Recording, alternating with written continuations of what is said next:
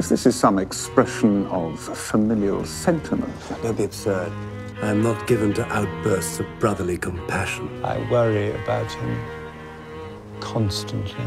You know what happened to the other one. Don't fire! Do not fire on Sherlock Holmes! Do not fire! Oh!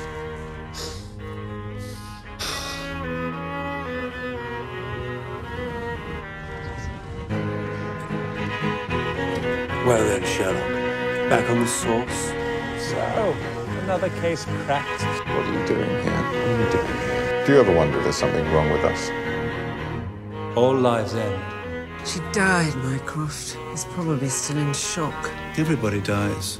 Remember me? It's the one thing human beings can be relied upon to do. How can it still come as a surprise to people?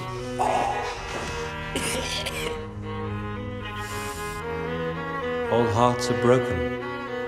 Can't handle a broken heart. How very telling. Caring is not an advantage.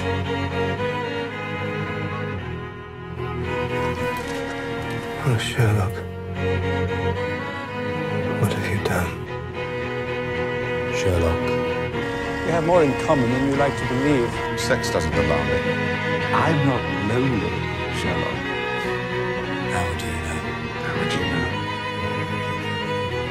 Also, your loss would break my heart. What the hell am I supposed to say to that?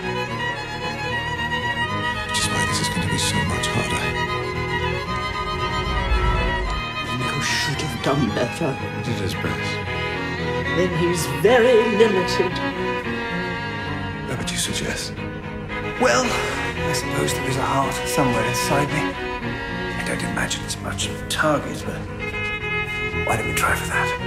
If you die, if you'd been murdered in the very last few seconds, what would you say? Goodbye, brother mine. No flowers.